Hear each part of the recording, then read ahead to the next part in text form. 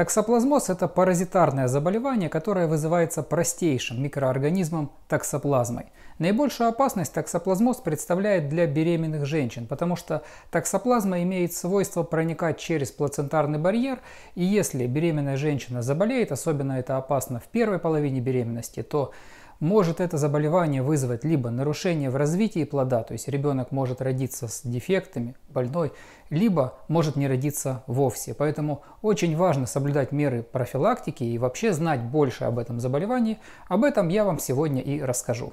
Токсоплазмозом болеют многие виды животных, но в первую очередь для нас актуально это кошки, потому что кошек держат многие люди и слышали, что токсоплазмоз это то, что передается от кошек. И это совершенно верно.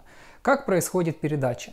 Кошки выделяют во внешнюю среду скалом цисты. Цисты это и есть возбудитель токсоплазмоза. Кошка может внешне никак не проявлять и не показывать, что она является носителем в данный момент.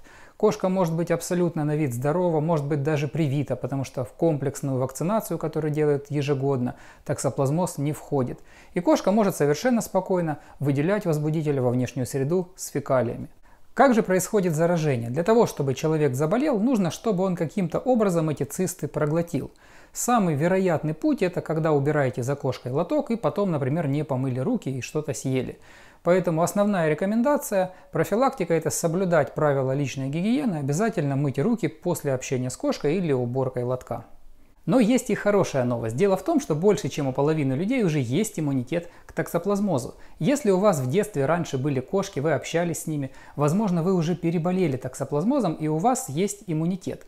Дело в том, что это переболевание проходит практически бессимптомно, и вы просто могли ничего не заметить, но при этом у вас в организме сформировался иммунитет, который защищает и вас, и вашего будущего ребенка. Поэтому я советую перед тем, как планировать беременность, обязательно заранее сдайте анализ крови и убедитесь, есть у вас этот иммунитет или нет.